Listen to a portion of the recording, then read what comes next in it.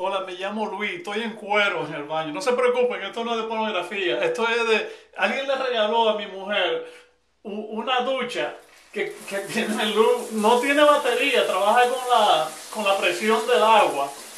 Pero si uno le cambia la temperatura, ella cambia el color.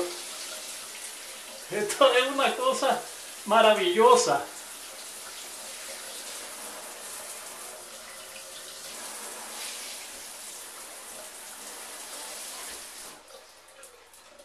Para que disfruten.